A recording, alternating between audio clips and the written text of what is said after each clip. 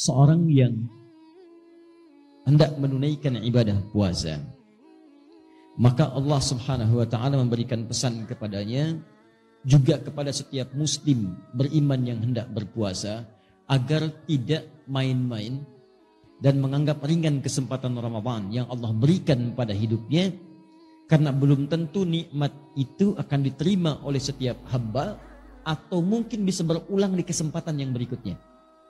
Tidak setiap orang bisa mendapatkan nikmat Ramadan. Dan tidak setiap yang telah mendapatinya akan mengulangi di masa yang akan datang. Karena itu para sahabat Nabi Shallallahu Alaihi Wasallam begitu selesai kemudian mendapati Ramadan, maka banyak di antara mereka bahkan di penghujung Ramadan itu mengalirkan air matanya. Mereka menangis. Berharap ya Allah, kalau bisa jangan berhenti ya Allah. Besok Ramadan lagi. Lusa Ramadan lagi. Pekan depan Ramadan lagi. Kalau perlu setiap hari Ramadan ya Allah. Saking inginnya semua waktu itu Ramadan. Dan kita diberikan kesempatannya. Dan mereka tahu belum tentu tahun depan bisa berjumpa. Karena itu semua bermujahadah ketika akan tiba Ramadan. Dan begitu tiba Ramadan, maka kalimat la'allakum itu digunakan dengan sepenuh jiwanya. Maksimal ibadahnya. Kata Ibnu Abbas radhiyallahu taala anhuma, saya belum pernah melihat Rasulullah semulia ini dalam ibadahnya, selembut ini dalam sedekahnya, sebanyak ini dalam pemberiannya kecuali saat Ramadan. Sampai angin yang berhembus sepoi-sepoi pun itu kalah amalannya oleh Nabi. Nah itu lembutnya angin itu kalah oleh lembutnya Nabi saat beraktivitas di bulan Ramadan. Lembut menghadapi orang-orang. Sodakahnya bertambah. Ibadahnya bertambah. Interaksi dengan Qurannya dan sebagainya. Dan orang-orang yang bukan Nabi karena melihat Nabinya serius. Mereka lebih serius lagi.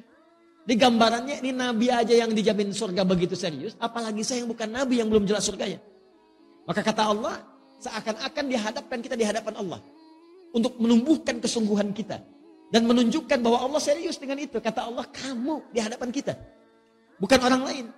Ini bukan orang yang disebut, maaf, bukan orang yang di zaman Nabi, bukan orang di masa sahabat, bukan orang di masa tabi'in. Tapi kata Allah, la'allakum, kumnya masih ada di depan kita. Tatakun kamu. Tanpa batas. Kata Allah, kamu mesti serius ya. Karena saya pengen kamu bertakwa. Kamu mesti berubah. Kamu mesti jadi hamba yang taat. Mesti ada perbedaan ketika kamu lahir dengan kamu pulang. Saya ingin tingkatkan takwa kamu. Kalau anda hafal Quran demi Allah saya katakan. Begitu disebut takwa itu bisa berlinang air mata anda. Karena ayat takwa selalu terkait dengan nilai kebaikan. Ketika Allah sebutkan takwa maka Allah ingin tanamkan kebahagiaan. Kamu tingkatkan takwa supaya bahagia. Jadi ketika anda dilatih takwa saat Ramadan, la'allakum tattaqun, supaya kamu takwa. Anda tanya kenapa ya Allah? Kata Allah saya pengen kamu bahagia. Ayo takwa. Wa may yattaqillaha yaj'al lahu makhraja wa yarzuqhu min haitsu la yahtasib. Ketika takwa meningkat kepada Allah, kata Allah, maka aku mudahkan hidupmu. Aku berikan solusi, aku limpahkan rezeki kepadamu. Makanya ketika Allah katakan la'allakum tattaqun, ayo serius supaya hidup kamu mudah.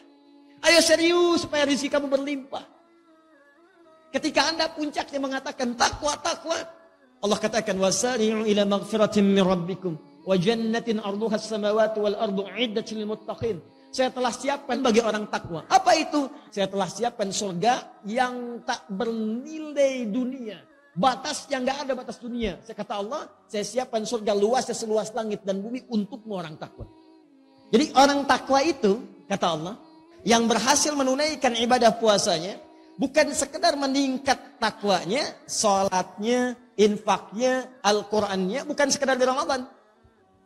Bukan cuma di awal Ramadan. Sejak puasa itu dimulai, awal pertama Ramadan. Begitu satu Ramadan muncul, tunaikan tarawehnya, maka dia sudah siap dengan kurikulumnya. Malam ini saya akan taraweh di tempat A. Siapkan, bahkan 30 hari sudah dia siap tuh, kalau sampai ke 30 hari. Malam ini di masjid A, malam ini masjid B. Sunnahnya baca Quran nanti saya akan capai sehari misalnya 10 juz. Bagi oleh dia, subuh baca sekian, zuhur baca sekian, asar baca sekian. Begitu tiba malamnya, maka dimulailah present ibadahnya. Orang takwa sudah siap. Dan yang paling menarik bukan cuma present. Continuous.